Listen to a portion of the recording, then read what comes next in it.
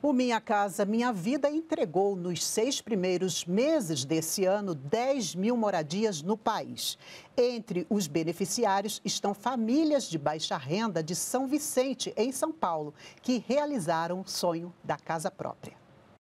Quando a dona de casa Josimar, com o bebê no colo, recebeu das mãos do vice-presidente Geraldo Alckmin as chaves do seu apartamento, começava a cerimônia de entrega de 1.120 moradias do programa Minha Casa Minha Vida, no residencial Tancredo Neves 3, em São Vicente, São Paulo. A gente foi ver os apartamentos, eles ficaram melhores, azulejo até o teto, ele é maior, banheiro maior, dois quartos, viabilizou aqui esse empreendimento.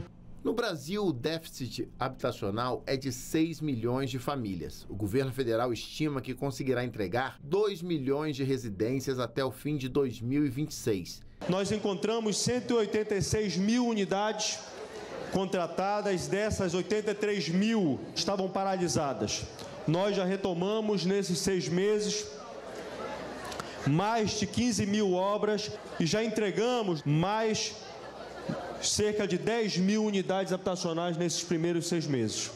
Os empreendimentos deste novo Minha Casa Minha Vida estão em terrenos mais bem localizados, próximos ao comércio e a serviços públicos. Também estamos entregando aqui quatro escolas e a reforma da unidade de saúde, fora as parcerias que nós vamos firmar com estados e municípios, onde os estados e municípios entram com terreno ou até mesmo com subsídio, como é o caso aqui de São Paulo, onde nós faremos parceria com o governo do estado de São Paulo a partir do Casa Paulista. Com isso, a gente pode atender o maior número de, de pessoas que queiram ter essas suas unidades habitacionais, ter direito à casa própria.